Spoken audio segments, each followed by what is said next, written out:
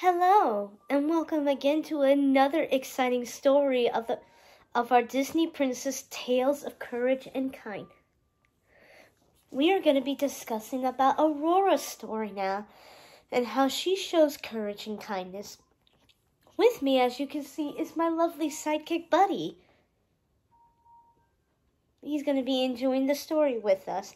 And just so you know, our other friends may be joining us here pretty soon as well, so don't be alarmed. And let's read what or- Aurora does, shall we? When Princess Aurora was born, the evil fairy Maleficent placed a curse on her. To protect the young princess, King Stefan and the queen sent her to the forest to be raised by the three good fairies Flora, Fauna, and Merryweather. After Aurora and Prince Philip broke the curse by defeating Maleficent, they went to live at the castle. But Aurora still calls the fairy's cottage her second home and visits often.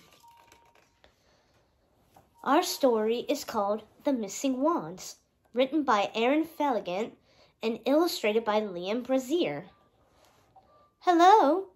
Princess Aurora knocked sharply on the door of the thatched roof cottage. Oh, and before I continue, let's not forget, I may be asking you a question about what you show of courage and kindness. So if you want to leave, leave your answer, make sure you click on the comment and, re- and leave your message. Thank you. Hello, Princess Aurora knocked sharply on the door of the thatched roof cottage. She had traveled all the way from the castle to visit the three good fairies, but she'd been knocking for several minutes were they even home? The front door suddenly flew open. As Flora burst out, her red hat slipped sideways over her gray curls. Thank goodness you're here, she cried. Aurora placed a comforting hand on the fairy's shoulder. Flora, what's wrong? Has something happened? Merryweather pushed past Flora. Someone has stolen our wands, she announced, her round face flushed with anger. When we find them, I'll turn that thief into a warty old toad. Now, now, Merryweather, said Fauna, following close behind. I'm sure the wands weren't stolen, but her brow was wrinkled with worry. Flora paced the cobblestone walk. We've looked everywhere. Whatever will we do without our magic? Merryweather sucked in her breath. How will we protect ourselves from evil or spread happiness? asked Fauna. How will we fly? said Merryweather, throwing her arms wide, or clean, or even cook?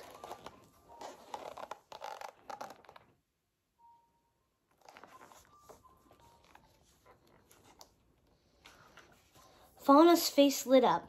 Maybe I could do the cooking, she suggested. Merryweather sighed. I think I just lost my appetite. Don't worry, said Aurora, gathering the fairies around her. I'll help you look for your wands, and we won't need magic to find them. You lived for many years without your magic when you were keeping me safe from Maleficent. Aurora could scarcely say the name of the evil fairy who had placed a curse on her long on her long before. To protect Aurora, the good fairies had hidden her in that very cottage and raised her for sixteen years. During that time, they had vowed not to use their magic to avoid calling attention to their whereabouts. Fauna's brown eyes grew misty. I remember, dear, those were happy times. They were, said Aurora, her heart squeezing. We did all sorts of things without magic, didn't we?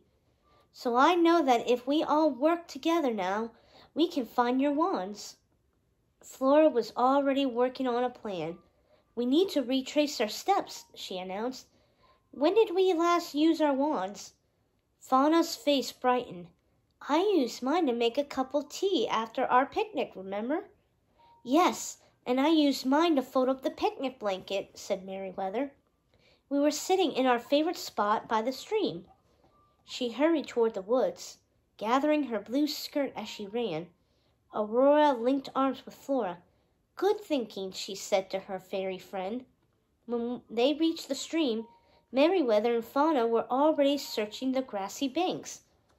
Hmm, We sat right about here, didn't we? said Merryweather. Aurora dropped to her knees to help them look.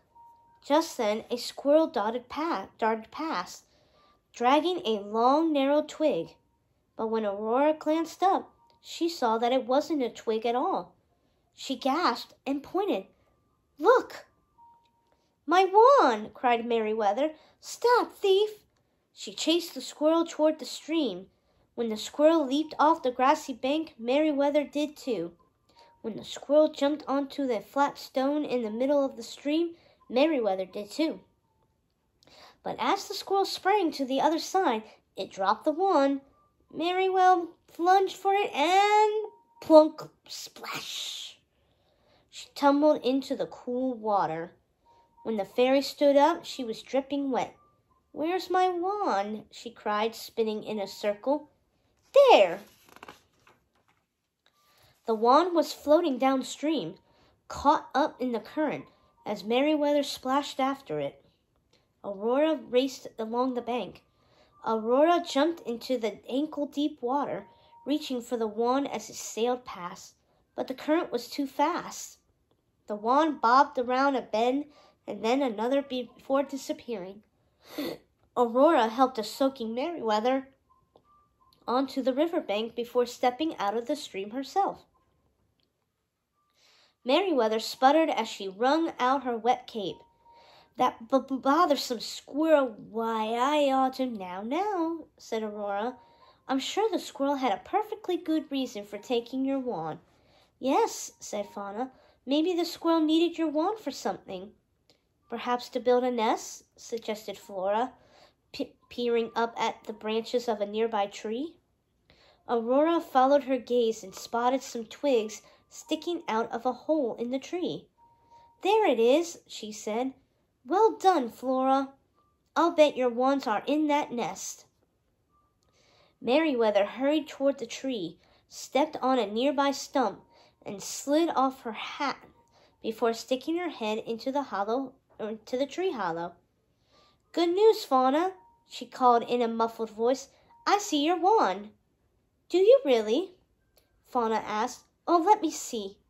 She scrambled onto the stump next to Merryweather, but there was only enough room for each fairy to balance on one foot. Fauna looked into the tree hollow. That's it, she said, reaching inside. Just then, the squirrel scrambled down the tree trunk. It perched on a branch above Fauna and Merryweather and chattered as if scolding them.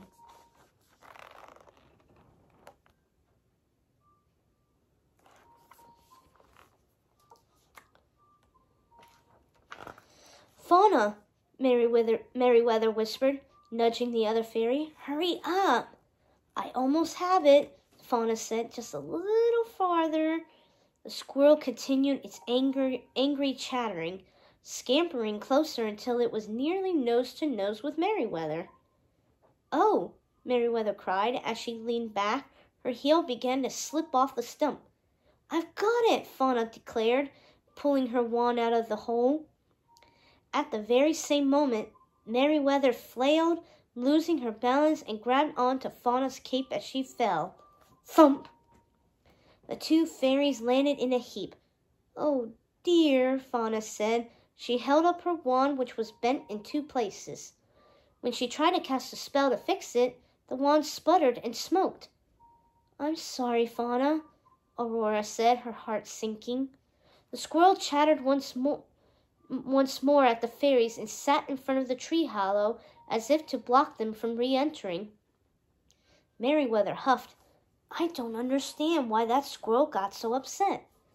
Perhaps we shouldn't have touched its nest. Fauna said with a sigh. She tried to straighten out her wand, but it was no use. Fauna is right, said Aurora softly. We wouldn't want someone rattling around in our homes, would we? Flora shook her head. No, I suppose we wouldn't. Aurora helped the fairies to their feet and picked a few leaves and sticks out of Fauna's hair. But as she untangled the last twig, she realized it was no twig at all. It was the third wand. It must have gotten stuck in Fauna's hair while she was trying to pull her own wand from the nest, Aurora said, extending the wand to Flora. Before Flora could take it, the squirrel raced down the trunk of the tree, snatched the wand, and leaped to the forest floor.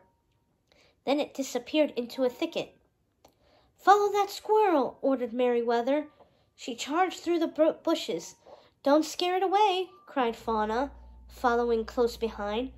Aurora and the fairies raced after the squirrel, but the bushes were dense, and the squirrel could dart under and through them very quickly.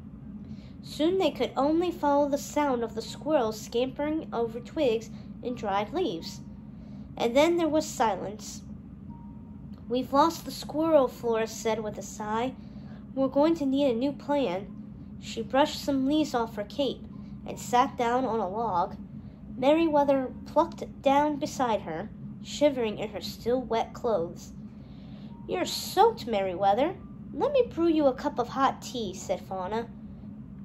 She lifted her wand to cast a spell. Oh, dear, I forgot. She stared at her broken wand and sighed. Don't lose hope, Aurora said to her friends, but as she glanced at the sun sinking low in the sky, her own hope faded. How would they find the squirrel after dusk? Hoo, hoo, came the familiar hoot of the owl. Aurora jumped and covered her heart with her hand. Oh, Owl, you startled me. She gazed up at her feathered friend. Have you by chance seen a squirrel carrying a very, um, unusual twig? The owl gazed back with wise, round eyes. Who? Merryweather stood and put her hands on her hips. A bothersome thief, that's who. As if in response, the owl flapped its wings and took flight. Whoo! Whoo! I think it wants us to follow, said Aurora. She and the fairies tracked the owl through the forest, winding around trees and climbing over logs deeper and deeper into the woods. As dusk began to fall, shadows crisscrossed their path. Aurora studied the dark forest, searching for the squirrel. As the wind picked up, branches creaked and groaned. Goosebumps prickled her skin. I hope we're going the right way, she whispered. Owl knows where we are. Don't you, Owl? The owl swooped low, as if to reassure them that they were on the right path. But when the trail narrowed, Merryweather stopped and took a step backward. She uttered a single word. Thorns! Where? asked Aurora. As if in response, the clouds parted in the night sky. The moon cast a mysterious glow on a snarl of twisted branches covered in prickly thorns. Flora sucked in her breath. Those look like the work of. Who? called the owl overhead. Maleficent, spat Merryweather. Aurora's heart quickened. She had heard of the thicket of thorns, a trap Maleficent had set for Prince Philip. The evil fairy had tried to stop the prince from reaching Aurora and breaking the curse placed on her. As Aurora stared at the briar patch, the thorns seemed to twist and tangle before her very eyes. But that curse was broken, she whispered. Those thor- thorns burned up in a blaze of fire. Didn't they? Fauna patted Aurora's hand. That's right, dear. But her eyes started toward Flora. They did all burn up, didn't they? Flora didn't seem so sure. I think it's best if we avoid the briar patch, she said. Maleficent's dark magic may still linger in those thorns. They could be poisonous, or hold a curse of their own. Aurora felt a chill down her spine. As a cloud drifted over the moon, the thorns took on a greenish glow. Was Flora right? Were those prickly branches filled with Maleficent's dark magic? She shivered and turned away. Then she heard something. Squeak! Chick, chick, squeak! Aurora whirled around and peered deep into the briar patch. She followed the sound to- toward the twisted branches at the top, where she spotted a trembling squirrel. The wand in its mouth shivered and shook. It's our squirrel! Aurora cried. With Flora's wand! said Merryweather. She lunged toward the thorny bushes, but Flora grabbed her cape from behind. We can't go in there, Flora said. You know the rules of magic. Good fairies can never set foot where evil magic exists. But the squirrel looks trapped, said Fauna. What if it has fallen under Maleficent's evil spell? We have to help the poor thing. And we must get Flora's wand, Merryweather said. What if we don't we don't and someone else does? Someone as evil as Maleficent. Aurora shuddered at the thought. As silence fell over the forest, she took a deep breath, and suddenly she knew what she had to do. You can't go into the thicket, she said to Merryweather. Nor can you, she told Fauna. You heard what Flora said, but maybe I can. No, all three fairies said at once. Their kindness gave Aurora the courage she needed. Yes, she said firmly, you saved me from Maleficent's curse once before. Now it's my turn to save you, to save your magic from falling into the wrong hands. But what if the thorns are a trap?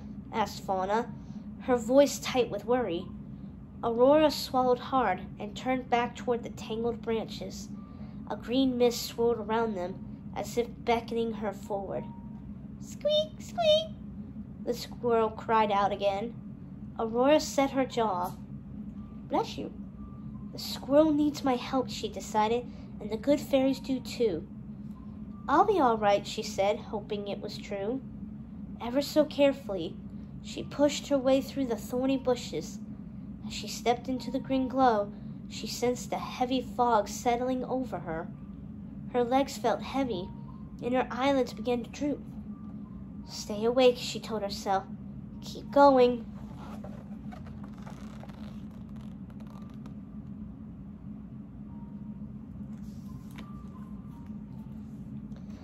Sharp thorns tangled in her hair and tore at her dress. But she kept her eyes straight ahead. With every step she took, the prickly branches seemed to wrap themselves more tightly around her. When she finally reached the squirrel, Aurora blew out her breath. The creature trembled on the branch. It's all right, said, said Aurora in a soothing voice. I'm here to help you. As she reached out her hand for the squirrel, it crawled toward her, but thorns suddenly sprouted from all around, blocking the squirrel from taking another step. The squirrel tried to push past the thorns, but the one in its mouth was too long to allow it through. So the squirrel let go. The wand slid from its mouth and clattered down through the spiny branches. Aurora's stomach dropped too. She gasped would she be able to find the wand? The squirrel raced down Aurora's arm and perched on her shoulder, and Fauna cheered. You saved the squirrel! But what about the wand? Merryweather cried. As Aurora knelt, knelt to look for the wand, the green fog seemed to grow denser. A sudden wave of sleepiness settled over her. If only she could take a tiny nap. Her eyelids drifted slowly shut. Chuck, chuck, chuck. The squirrel chattered in her ear, waking her up. Do you see the wand? Flora called. Aurora peered sleep- sleepily through the gl- glowing thicket. The wand rested on a bed of leaves and twigs. She reached carefully through the tangled branches, but the wand was too far away. I wish I could bend the branches, she said, or perhaps cut through them. When her sleeve caught on a thorn, her squirrel friend gnawed through the thorny branch, setting her free. Oh, what sharp teeth you have, said Aurora. Can you chew through a few more branches? Maybe together we could reach the wand. Sure. The squirrel hopped off her shoulder and began gnawing through the brambles. Aurora stretched her arm through them as far as she could. Finally, her fingertips touched the end of the wand the squirrel squeaked and scampered back toward her as she gripped the wand firmly in her hand. Suddenly, she heard the crackle of twigs and branches. The thick, gnarly thorns began to wither and shrink, and the green mist faded to gray. Now that the good fairy's wand was back in safe hands, the evil that remains in the thorns vanished. Aurora breathed a sigh of relief as she stood. With her new friend perched on her shoulder, she made her way out of the thicket and presented Flora with her wand. Well done, dear girl, said Flora. Thank you. Oh, I do love happy endings, declared Fauna, wrapping Aurora in a tight hug. Tight hug. Even Merryweather dabbed at her eyes. Then she cleared her throat. All right, now, back to business. We still have just one wand, not three. She pointed out Fauna's broken wand. Oh, said Fauna, of course. She waved her wand and with a shower of sparks repaired Fauna's. We'll find yours too, Merryweather, just as soon as we reach the stream. Thank you, said Fauna, admiring her shiny wand. It's as good as new. Why, I think it's even better. As the owl led them to the forest edge, Flora lit her path with her wand.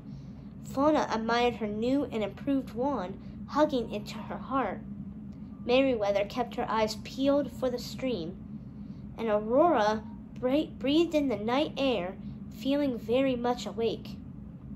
When they reached the stream, Flora sent a glittering trail of magic across the water. It returned moments later, carrying something in its midst. My wand! called cried Merryweather. The squirrel on Aurora's shoulder squeaked and reached for the wand as it passed by. Oh, no, you don't, Merryweather scolded. She grabbed her wand just in time. Aurora laughed. time to get home, she told the squirrel, lifting it toward the hole in the tree. It chattered a sweet goodbye before darting into its nest. Out of the corner of her eye, Aurora saw Merryweather cast a quick spell. A flurry of soft feathers swirled through the air straight into the squirrel's nest. What are the feathers for? asked Fauna. Merryweather shrugged. Perhaps if its nest is a little more comfortable, that sneaky squirrel won't try to steal our wands again. Merryweather, Aurora whispered, you do care about the squirrel after all. said the fairy. With a wave of her wand, she sprouted wings and fluttered off the ground, smiling just a little. I'm so pleased that we found all three wands, said Fauna as they started down the trail. We did, said Aurora, and all we needed was your special strengths. Our special strengths? asked Flora. Why, yes, said Aurora. Flora, you're very wise. You came up with a plan for finding the wands. All you, you needed to do was retrace your steps. Flora's cheeks turned pink. And Merryweather, Aurora cr- continued, you're very brave. If you hadn't chased that squirrel, we never would have found its nest. Merryweather's mouth twitched into a smile. And Fauna, said Aurora, you're so kind. If you hadn't been determined to help the squirrel, we never would have retrieved the last wand. You spread kindness everywhere you go. Fauna dabbed at her eyes. Well, I do try, dear. So you see, said Aurora, we didn't need magic to find the wands. All we needed was Flora's wisdom, Merryweather's courage, and Fauna's kindness. Flora flitted back toward her and smiled. Someone else showed great wisdom, courage, and kindness tonight, too. Ooh, called the owl overhead. You, all three fairies said to Aurora. Aurora's cheeks flushed with pride and happiness. Well, I did have some help from my forest friends. She looked back at, at the squirrel's nest and waved at the owl above. For just a moment, she thought she saw a flicker of green in the bushes nearby. But it was only a firefly. Maleficent's dark magic is gone, she reminded herself. I'm safe now, and the fairies are too. She turned to follow the green, the three good fairies who dipped and darted along the trail ah, ahead of her, leading the way home. Wasn't that an amazing story of Aurora and how she showed all three traits of kindness, courage, and wisdom? As you all know, Aurora is loving, joyful, good natured, friendly, graceful, imaginative, and hopeful. Her dream is to be free to explore life's possibilities. And her heroic moment, never giving up on her belief that dreams really do come true. Her sidekicks, of course, are her three fairy aunts Flora, Fauna, and Merryweather. And a famous quote from her If you dream a thing more than once, it's sure to come true. Now, I have a question for you. What are your special strengths?